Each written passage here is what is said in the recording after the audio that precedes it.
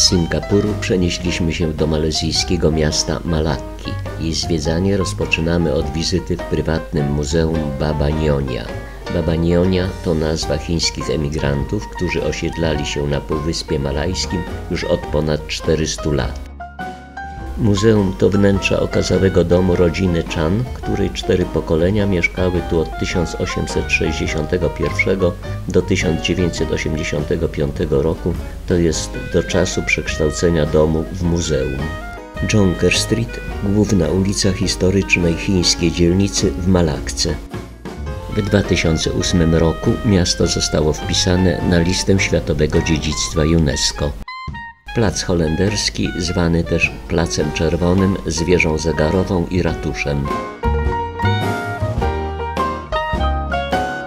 Charakterystyczne dla Malakki ozdobne rikrze rowerowe.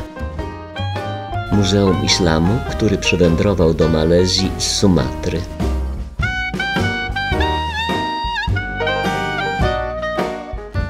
Muzeum z eksponatami pokazującymi drogę Malezji do niepodległości.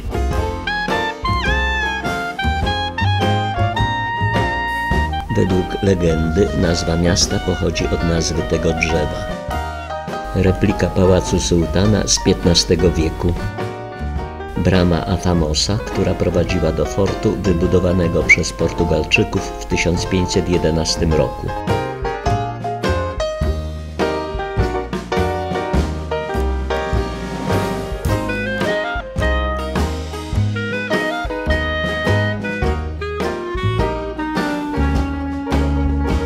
Wzgórze świętego Pawła, na którym są ruiny kościoła świętego Pawła, wybudowanego w tym miejscu w 1521 roku. Przed kościołem stoi posąg świętego Franciszka Ksawerego, który w XVI wieku przetłumaczył Biblię na język malajski.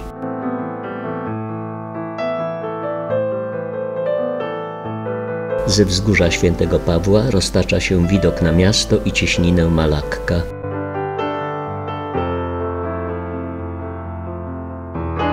Wieża Taming Sari, zwana Okiem Malakki, ma obrotową kabinę mieszczącą 80 osób i pozwala obejrzeć miasto z wysokości 80 metrów.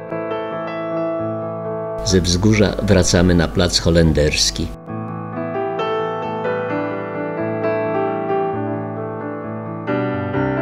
Wybudowany przez Holendrów katolicki kościół Chrystusowy.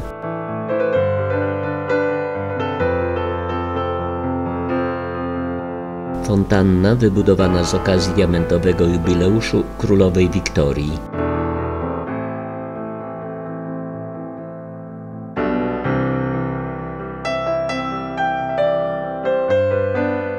Widok na rzekę Melakka przepływającą w pobliżu placu holenderskiego.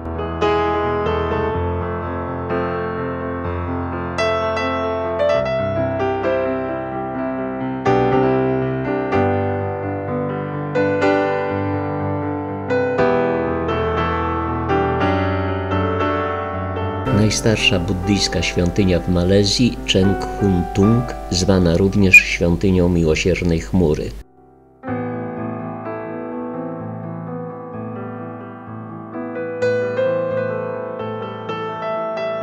Została wybudowana w 1646 roku i jest dedykowana bogini miłosierdzia.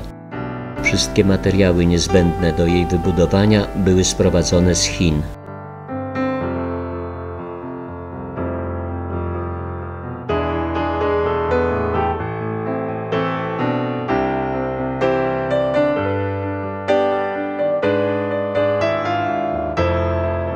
Minaret meczetu Kampung Kling przypominający chińską pagodę. Meczet został wzniesiony w połowie XVIII wieku jako drewniany budynek i przebudowany na murowany w 1872 roku.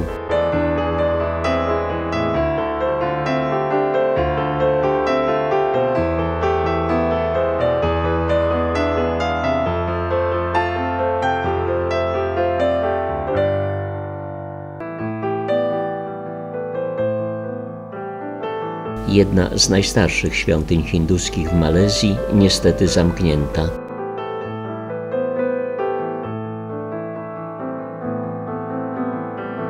bogato zdobione wejście do chińskiej świątyni Hokkien Huai Kuan.